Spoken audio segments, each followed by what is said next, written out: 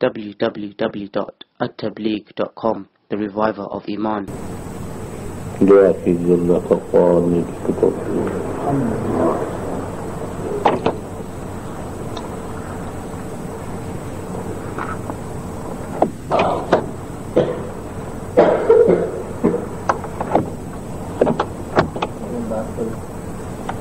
सुबह तो भी बैठता था हम्म, सुबह तो हो गया था।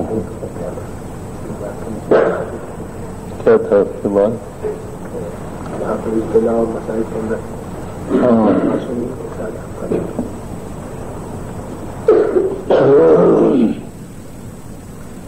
हाँ बजाहिर ये इश्काल तो है उनका सवाल ये है कि दुनिया में जब हालात आते हैं तो मासूम बच्चे उनका क्या कसूर है जो गिरफ़्तार होते हैं, बला में और मुसीबत में?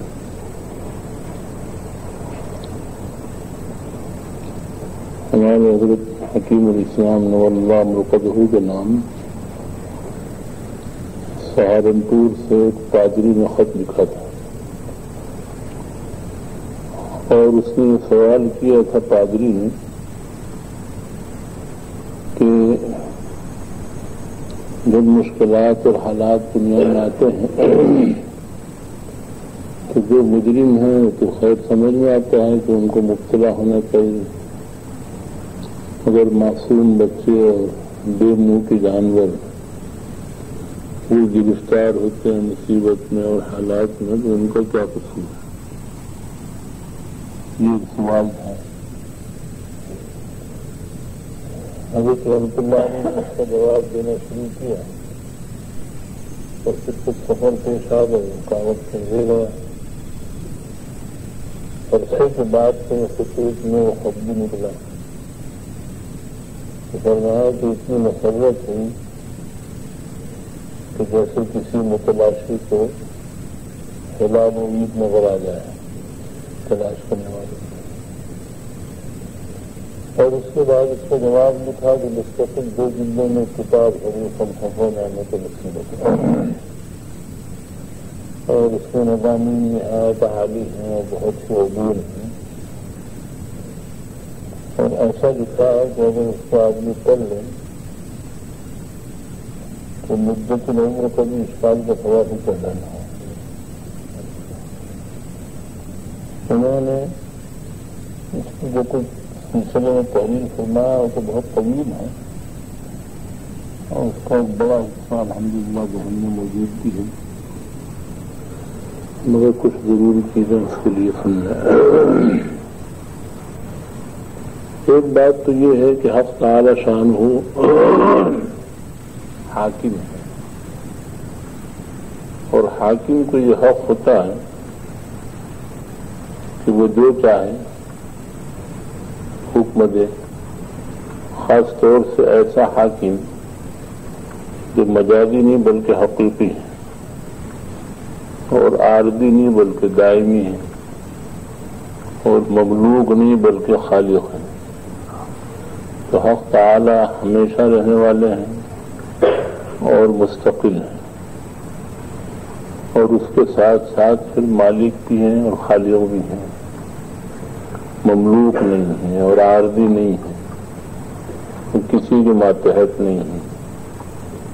तो ऐसा जो हाकिम है उसको हक है इस बात का कि वो जो चाहे हुकूमत लायु सलामा या फलवहम सलूल हक ताला की सिफत है कि उससे सवाल नहीं किया जा सकता कि वो क्यों किसी काम को करते हैं। लोग तो मसूल हैं कि उनसे पूछा जा सकता है, मगर हक ताला से नहीं। फिर हाकिम होने के साथ आदिल भी अल्लाह ताला की सिफत जालिम नहीं है, बल्कि आदिल और आदिलाना शान ही के एतबार से उसकी हकीमाना शान भी है, वो हकीम भी है। और जब हकीम है तो उसके तमाम अफाल में और हक ताला के तमाम कामों में कोई न कोई हिकमत मसलहत ज़रूर है। तो वो हाकिम भी है, हकीम भी है। इसीलिए हज़रत अब्दुल रमतुल्ला फरमाते थे कि जब कोई मुसीबत पेश आए तो दो बातों का इस्तेदार वो मुसीबत को हल्का कर देगा। एक तो ये सोचे कि हक ताला हाकिम है, मैं महकूम हूँ। और हाकिम को यह हक है कि महकूम में जो चाहे तसरुफ करे। मगर साथ ही हाकिम होने के अलावा वो हकीम भी है कि उसके हर काम में कोई न कोई हिकमत, कोई न कोई मसलहत है सही। उसको तमीज से समझ लें वाकई के ज़िंदगी में पहले। एक बादशाह थे और वो बादशाह भी बहुत सहीम थे और उनके एक वज़ीर वज़ीर वज़ीर थे जो बातदबीर थे। तो वज़ीर की आदत थी कि जब कोई बात पेश आती तो ये कहा करते थे कि इसमें अल्लाह ने की कोई मसलहत हो अच्छा होगा कोई हिकमत होगी। एक रोज बादशाह कोई फल काट रहे थे तो उंगली कट गई। अब जो उंगली कटी बादशाह की तो वज़ीर बात तजमीर फरमाने लगे कि अच्छा हुआ, इसमें अल्लाह में की कोई हिकमत होगी। और कुर्ब सुल्तान आतिश सजा बहुत तो बादशाहों का मसला ऐसे ही होता है कि वहाँ पर जरासी बात पे पकड़ हो जाती है और जरासी बात पे नवाज़ दिए जाते हैं। जैसे हारून रशीद ने एक आदमी से कहा कि ये लड़की है, इसे तुम जानते हो? उन्होंने कहा कि नहीं। कहा यह अमीरुल की लड़की है मेरी लड़की है। और वो मिलने वाले से उनसे कहा कि इनके पेशानी को बोसू दे सर पर बोसा दो। तो उन्होंने किया ये कि अपनी आस्तीन का कपड़ा उस पर रखा और उसे तकबीर की बोसा दिया वजह उसकी है कि अगर इनकार करते तो हाकिम के के खिलाफ करना लाजिम आता मुमकिन है गर्दन नब जाती और पकड़ दी जाती और अगर वाकता तकबीर करते तो गैरत बर्दाश्त नहीं करती उनकी, तबाह बनती तो वो इनकार करते तब पकड़े जाते और अगर इकरार करके अमल करते तब माखूज होते तो वो कश्म कश्म थे, इसलिए आस्तीन का सहारा लिया और बरबखियत पैदा की उन्होंने। ताकि जान छूटे, वाकई बख्शे का इनाम दिया गया तो यहाँ भी ये शक्ल हुई कि बादशाह से फल काट के उंगली कटी।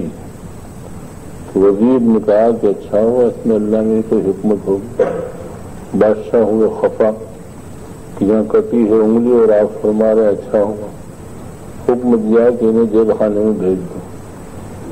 वो जेल खाने में भेजने का जब हुक्म सुना उन्होंने, वज़ीर साहब ने तो अपनी आदत शरीफा के मुताबिक मुझे कहा कि अच्छा हुआ इसमें अल्लाह में की कोई हिकमत होगी। तो उनको जेल भेजा और बात आई गई होगी दूसरे रोज बादशाह सलामत शिकार के लिए गए। साथी थे उनके। कुछ ऐसा मोड़ आया शिकार में कि सब साथी उनके उनसे जुदा हो गए। बिल्कुल। ये बेचारे बिछड़ गए, बल्कि पछड़ गए। और किसी जगह बिल्कुल थके, पके, बेजान नीम जान खस्ता जान होके पड़े थे बिल्कुल। देखते क्या है कि ऐसी हालत में एक शेर है जो उनकी तरफ़ आ रहा है गर्राते हुए। तो शेर को देख के वैसे ही आदमी का पित्ता पानी होता है। और मुआबरीन भी लिखते हैं कि खाब में अगर शेर देखे तो दुश्मन से इबारत है। खतरनाक दुश्मन समझा जाएगा शेर। वो आया और करीब था कि इनको ठिकाने लगा देता और खा जाता, हड़प करता। और उसने देखा कि इनकी उंगली से खून बह रहा है। तो शेर में गैरत ये होती है कि किसी और के शिकार पे हाथ नहीं डालता। उसने समझा किसी और ने इनको खूनी किया, शिकार किया, इनका रुखसत हो गया। हो फिर कुछ देर में साथी भी आ गए। तो बहुत खफा हुए, बादशाह सलामत कहाँ से तुम, ये हुआ हुआ। मगर वापस आया और अल्लाह का शुक्र अदा किया कि जान बच गई। और साथियों से कहा, बादशाह ने, कि वज़ीर ने सही कहा था, उंगली कटी कि अच्छा हुआ, इसमें अल्लाह में की कोई हिकमत होगी क्योंकि उंगली अगर न कटती तो शहर में नाश्ता करता और क्या खत्म कर देता। क्या वज़ीर को जेल खाने से बुला लाओ। वो आए तो कहा कि तुम्हारी बात ठीक थी बच गया में अगर उंगली न कटती तो गए थे काम गर्दन कट जाती अगर उंगली न कटती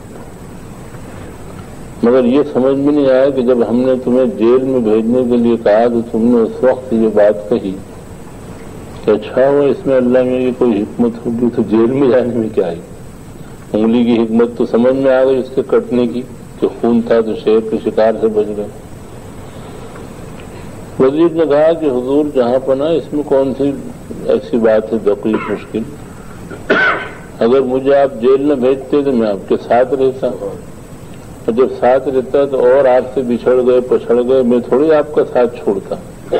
यकीनन मैं आपके साथ रहता।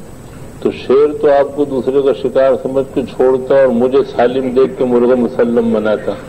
तो बड़ी खैर हुई अच्छा हुआ कि आपने मुझे जेल खाने में भेज दिया।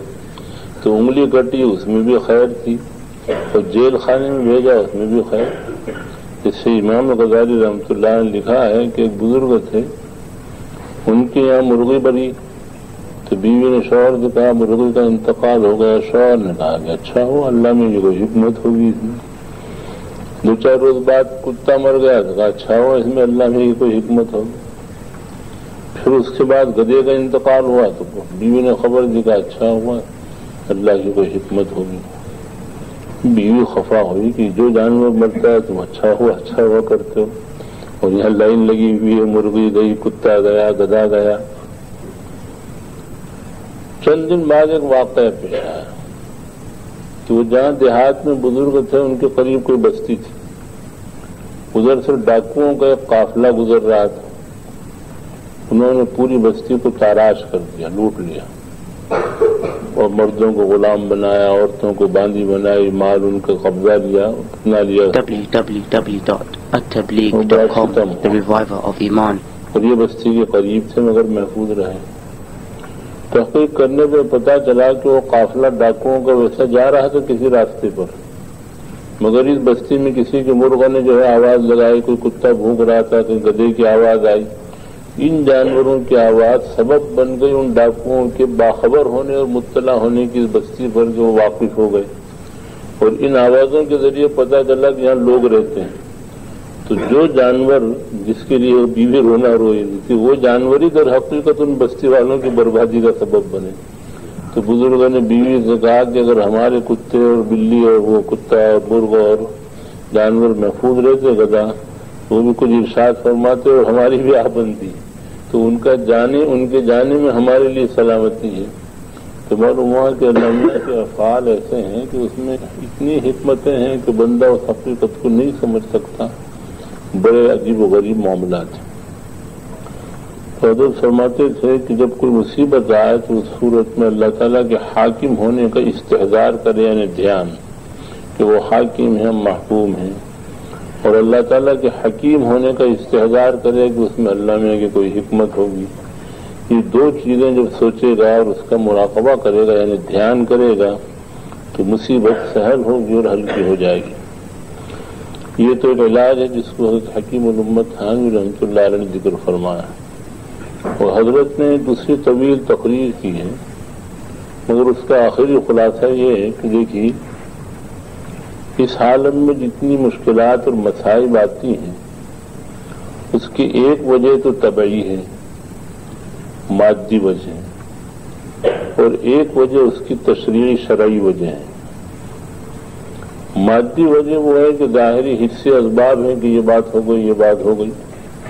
मिसाल के तौर पर आप बाहर निकले, ठंडी हवा लगी, नजला हो गया तो समझ में आया कि हवा लगी, ये हो गया। चलते चलते पैर फिसल गया, कोई तकलीफ़ हो गई तो समझे कि ये हुआ। या कोई चीज़ ऐसी खा ली, गर्म तो उससे गर्मी हो गई वगैरह। तो कुछ चीज़ें तो ऐसी होती जो मादी हैं और तबई समझी जाती है बिजली कभी मवासिम के असर होते मौसमों का कई जो है चीज़ों के असरात। मगर इन्हीं सारी चीज़ों में एक और पहलू भी है, वो शराई पहलू है। और कुरान करीम में इस सिलसिले में एक उनवान अख्तियार किया गया, फरमाया कि माँ असाब कमिन हसनतिन फमिन अल्लाह। तुम्हें जो खैर और भलाई पहुँचे वो अल्लाह की तरफ़ से है। वो माँ असाब कमिन सैया फमिन नफसिक। और जो तकलीफ़ पहुँचे, अजियत पहुँचे, उसका मंशा और वजह तुम्हारा अपना नफ्स है। और एक मौके पे यहीं आगे पीछे फरमाया, कुल कुल्लुम मिनजिल्ला सब अल्लाह की तरफ़ से है। तो बात जाहिरों ने ये इश्काल किया था। यहाँ तो फरमाते हैं कि सब अल्लाह की तरफ़ से। और उधर फरमाते हैं कि खैर तो अल्लाह की तरफ़ से नफ्स तुम्हारे शर जो है, या तकलीफ़ तुम्हारे नफ्स की वजह से। वहाँ भी अम्र हक ताला ही का है। जो तकलीफ़ पहुँची उसमें भी वही है। अच्छा तो एक तो वजह है मादी, तबई सबब है। और एक शरई हैसियत है। तो शरई हैसियत से बात मालूम होती है कि दुनिया में मुश्किलात और हालात आते हैं, वो मसाइब जितने आते हैं, वो तमाम असर है मासी का। हक तारा शाह की तरफ़ से तंबीहात का सिलसिला होता है। और उसमें फिर दो किस्म के लोग हैं। एक तो वो गिरोह है जो गुनाहों से मासूम है, जैसे अम्बी आलम सलाम तो हालात से वो भी महफूज नहीं, किसी पर बीमारी आई, किसी पर दुश्मन आया कोई कत्ल किए गए। इसमें भी एक इल्मी दकीक बात सुन लें, जो आम मतन दहनों में नहीं होती, उमूमन अरबाब इल्म के भी। हज़रत अब्दुल्ला मसूद और हज़रत अब्दुल्ला अब्बास रज़ी अल्लाह तला का इर्शाद है कि नबियों में कोई नबी कत्ल नहीं हुआ। जिसके बाद में खुदा ने नुसरत का वादा किया। और जिनके लिए मंसूरियत का वादा नहीं था, वो ये कत्ल हुए हैं। जैसे हज़रत जकरिया आसमाम वगैरह। तो पैगंबर के बाद में अगर नुसरत का वादा था पहले से, ऐसा कोई नबी और रसूल कत्ल नहीं हुआ। और जो शहीद हुए हैं, उनके बाद में लिखा है कि वो हजरात मंसूर नहीं थे, इस माना करके कि उनकी नुसरत हिस्से का वादा नहीं था। लिहाजा जिनके लिए वादा, उनके लिए कत्ल का सवाल नहीं।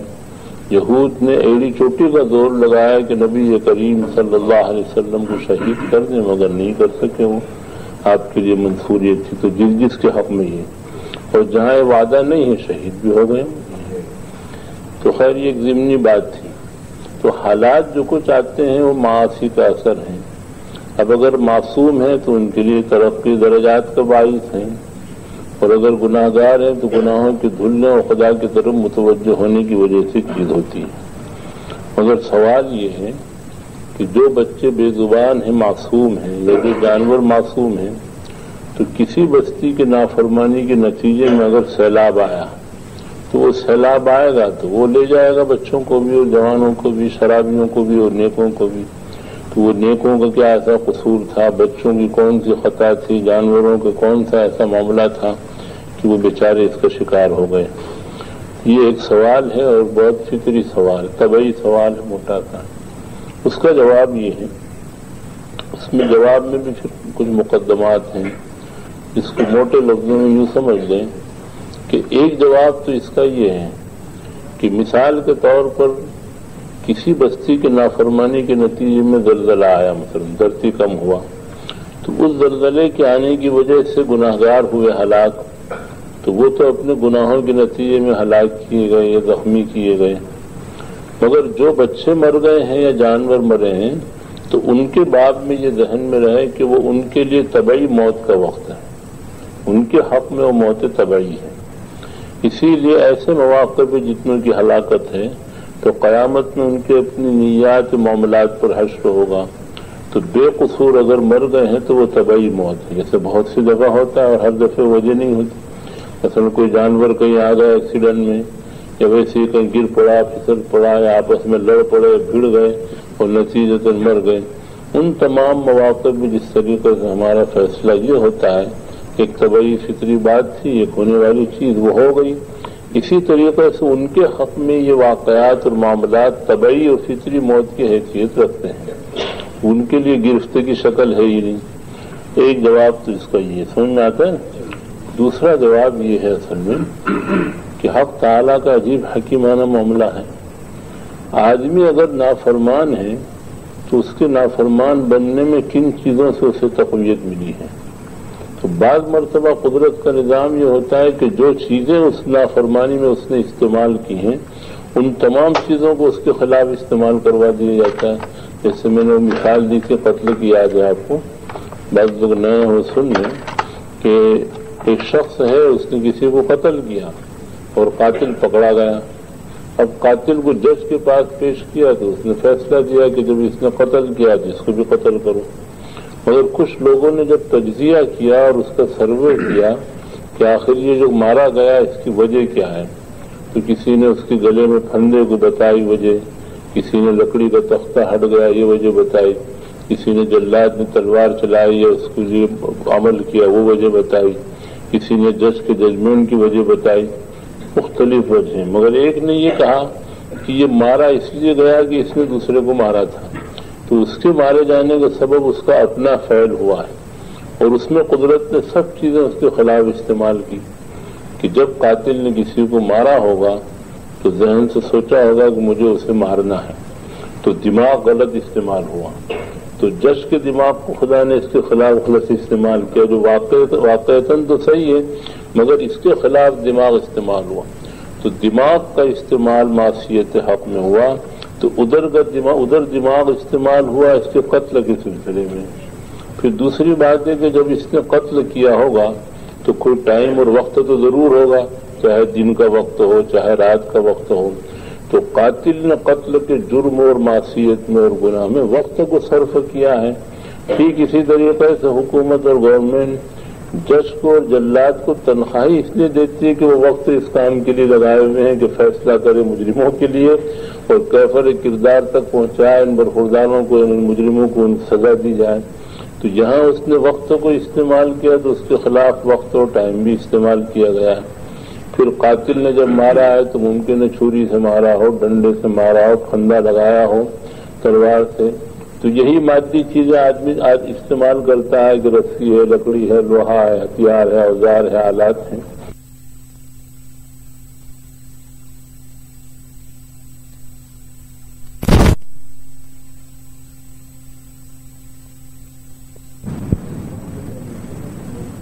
मुजरिमों तो मुमताज़ और अलग हो जाए तो दुनिया में इख्तलात था, इसलिए आलमुल खल्त वाले इख्तलात हैं। और आखिरत में इम्तियाज़ है, इसलिए वहाँ पर वमताजी यौम का लफ्ज कहा जाएगा कि दूध का दूध अलग और पानी का पानी अलग हो जाएगा। तो मौत तबई की हैसियत मुआवनाना हैसियत, और उसके अलावा हर सारा की बड़ी हमतें हैं कि इख्तलाफी निज़ाम भी सालम में रहे। ये सारी वजहें हैं, इसमें समझ में आता है कि जब मुश्किल आती है तो बेमुंह का जानवर भी मरता है, बच्चों की भी मौत आती है तो वो तबाही मौत की हैसियत वाला जवाब सादे ढंग के इंसानों को समझ में आएगा और अगर और ज़्यादा गहराई में जाए तो फिर वो वजूद आदम का फलसफा उन्होंने छोड़ा है कि जितने कमालात हैं, उसका मंशा और वजह वजूद है, और जितने नकायस हैं, उसकी वजह आदम है। वो मुल्ला हसन की तकरीर है अगर हकीकत। इसलिए वो तशवीश का बायस हुई लोगों के लिए। तो इतना गया जहन में रहे कि ये उसकी बुनियाद है। दूसरी एक बात और भी है कि जो कुछ हुक्मा ने और उलमा ने लिखा है, ये तो वो है जो उनके पल्ले पड़ा है। मगर हकीकी राज क्या है और हकीकी मामला तो असरार क्या है? बहुत शाद रजीज साहब रहमतुल्लाह ने लिखा है कि आवाम के जो असरार और मामला उलमा के जो असरार हैं और भेद हैं, जिसको वो जानते हैं, आवाम उसको नहीं समझ सकती। तो जो बड़े अलिया हैं, उनके खवास और असरार और भेद हैं, उसको आम उलमा नहीं जान सकते। और बड़े मुश्तदीन वासरीन हैं तो उनको वो नीचे वाले नहीं जान सकते। इसी तरह ताबेन के मामला हैं तो सभी ताबीन नहीं समझ सकते। सहाबा के असरार हैं उसको ताबेन बहुत से नहीं जान सकते। और अम्बिया आज़म के मामला को उनके मुसाहबिन नहीं समझ सकते। तो हर एक का एक दर्जा और ग्रेड है, वो उस मकाम पे पहुँच कर उन हकीकतों को और उन बारीकियों को समझता है। इसलिए कुछ चीज़ें तो वो होती है जो लोगों के लिए शनिदनी होती है यानी सुनने की। और बाजों के लिए देखने की होती है वो। जैसे मिसाल के तौर पर एक दीवार है और एक आदमी इधर खड़ा है नीचे और एक दीवार पे चढ़ा हुआ। तो दीवार के पीछे का जो बंदर और सीन है तो दीवार पे चढ़ा हुआ शख्स इसको खबर दे रहा है कि इसका काम ये है कि देख नहीं पाता तो सुन के मान ले। और जो दीवार पर चढ़ा हुआ है, वो अपनी आँखों से उन हकीकतों को देख रहा है। इसीलिए नबी करीम सल्लल्लाहु अलैहि ने बाज हकीकत को लोगों पर वाजे फरमाया कि मैं तुम्हें इसकी खबर दूँ सफ़ा की चोटी पर कि गनीम है जो तुम पे हमला करना चाहता है, लश्कर है जो तुमको बर्बाद करना चाहते, चाहता है कि क्या तुम मेरी तस्दीक करोगे उन्होंने फरमाया कि वल्लाह मा जर्रब न आले की कभी वतन कभी झूठ का तजर्बा आप पर नहीं किया हमने साजुल वादिल अमीन पाया आप तो फरमाया कि जिस तरह ये है, मेरे पीछे जिसको बैन अदय से ताबीर किया, मेरे सामने एक और आलम है और उसमें तुम्हारे लिए और हलाकतों की शक्लें हैं। अगर तुम मेरी बात न मानो तो अहीम पे अमल न करो। तो क्या तुम इस सिलसिले में मेरी बात मानोगे? तो जो शहादतमंद थे उन्होंने माना, और जिनके हाथ शहादत से खाली थे, उनके हाथ बर्बाद हुए तब बजीरा की शक्ल सामने आई। तो हासिल ये है कि एक मुस्तकिल सिलसिला है ताला के सारे अफाल मामलात तो जिस पर जितना खुल गया कि जिस पर जितना खुला और उसने जितना उसे बोल दिया है, ये भी शक्ल है। बाज दफ़ा आदमी खुद बहुत कुछ समझता है, मगर उन सारी चीज़ों को खोल नहीं सकता ये अल्फाज उसके लिए मदद नहीं करते। इस वजह से असरार का पूरे तौर पर दावा भी दुशवार है और आमतुल खलकत असरार से नहीं समझ सकती। इसीलिए अक्सर तहरीरों में थानवी रमतुल्ला की ये है कि लोग हिकमत पूछते हैं हर चीज़ की। एक आदमी ने कोई वजह पूछी तो उसने फरमाया कि तुम्हारी नाक चेहरे पर क्यों है? गुद्दी पे क्यों नहीं लगा दी गई पीछे। गुद्दी पे है बोसी पे क्यों नहीं लगा दी गई। वो शायद उसने कहा कि पीछे लगा दी जाती है तो बुरा मालूम है। और आगे है तो दीनत की बात।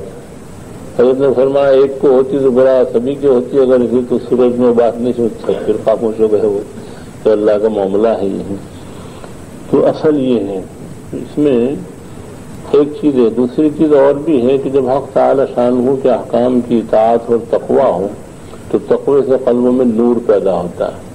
और उस नूर की बरकत से चीज़ें जो है कुलूब मुतमिन हो जाते हैं। तो कभी तो हक ताला की तरफ़ से खोल दिए जाते हैं वो असरार।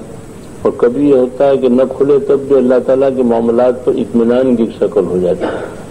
और कभी आदमी मुशाहदे का ख्वाहिशमंद होता है, जैसे इब्राहिम का हुआ है। वह असल यकीन था उसमें ज्यादती के लिए इसलिए कि इतमान की भी दराजात है। तो ये गया सूरत हाल है। तो रहा अल्लाह में क्या कर रहे हैं? तो वो इमाम साहब का एक मशहूर वाक़ है कि किसी दहरिए ने कुछ सवाल किए थे उसमें एक सवाल ये भी था कि इस वक्त अल्लाह में क्या कर रहे हैं? इमाम साहब ने फरमाया कि आप तो वहाँ से उतरिए, नीचे आइए और मैं कुर्सी पे बैठता हूँ, फिर जवाब दूँगा। तो वो नीचे उतरा, इमाम साहब कुर्सी पे बैठे। उसके बाद उससे कहा कि अल्लाह जो है, वो तुम्हें जिल्लत देते, मुझे इज़्ज़त दे रहे, ये काम कर रहे हैं आप तारशान तो कुल योमिन हुआ फ़ी शानी। हर रोज अल्लाह तला के लिए एक काम है, एक शान है, उसकी एक मामला है। और वो दर हकीकत अल्लाह ताला के कुछ ऐसे मामला खफियाँ हैं कि हर शख्स की इदराक से बाहर है। हज़रत शाह कादिर साहब ने तो उसका तर्जमा यही किया कि हर रोज उसके लिए एक धंधा है। कुल मिन होफी शानी। मगर शान कहते हैं हाल को और शून उसकी जमा आती है। और आलमीन के जो मामला तो खास उस पर उसका इतलाफ होता है। तो अल्लाह ताला जो है उसके मामला को समझने के लिए मारफत की ज़रूरत है। अगर मारफत नसीब हो जाए, तब तो फिर बहुत सहज आसान है। इसीलिए जो अल्लाह ताला के खास बंदे होते हैं, वो देखते हैं। जैसे हम नहीं देखते दुनिया में कि भाई हवा देखकर अंदाज़ा हो जाता है। सियासी लोग होते हैं तो वो बात चीज़ों की पेशिन गोइयाँ करते हैं बरसों पहले। कि भाई इसका अंजाम ये होना है, वो होकर रहता है। मौलाना अबुल कलाम आज़ाद ने बहुत सी पेशन गोइयाँ की थी बरसों पहले, बाद में सारी चीज़ें सामने आई। तो सियासी जहन था, बहुत होशियार थे समझ रहे थे ये होगा। तो असल ये है कि जो जिसके बाद में जैसा शोर रखे तो बड़े हजरात होते हैं, उन पर चीज़ें खुलती हैं। तो बाज मरतबा पेशन पेशेंट करते हैं कि ये होगा ये होगा ये होगा, ये। वो उनको देख कर अंदाज़ा लगा लेते और अल्लाह ताला का इल्म मुहित है, इसलिए वहाँ तो कोई सवाल ही नहीं पैदा होता, सारी चीज़ें हैं। तो ये है भेद, इसलिए असरार को जानने के लिए जितनी दूरानियत कल्बों में होगी, उतने ज़्यादा भेद खुलेंगे। और हक ये है कि पूरे तौर पर अहाता नहीं हो सकता। अच्छा एक बात और भी है, हज़रत शाहल्ला साहब रहमतुल्लाह ने लिखा है उसको कि एक है हुक्म और एक है हिकमत।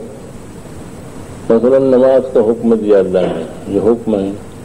अब उसकी जो हिकमत है तो वो हिकमत अगर कोई शख्स बयान करे कि नमाज़ में ये हिकमत ये हिकमत ये हिकमत। जैसे गधा था, उसने गधा ही कहना चाहिए उनका नमाज़ का फ़ायदा ही है कि पेट में गड़बड़ी हो तो ठीक हो जाएगा। तब इतने बड़े अमल का फ़ायदा उसने जी बताया तो हिमाकत है और क्या उसकी। तो अब मिसाल के तौर पर एक आदमी नमाज़ का फलसफा बयान करता है, रोज़े की हिकमत बयान करता है, और दूसरा जकी है जहीन है, चरबलिसान है, वो खड़े होने के बाद उसको तोड़ देता है फिर तो ये गलत ये गलत। तो बंदों की नस्बत से पहले हुक्म है, फिर हिकमत है।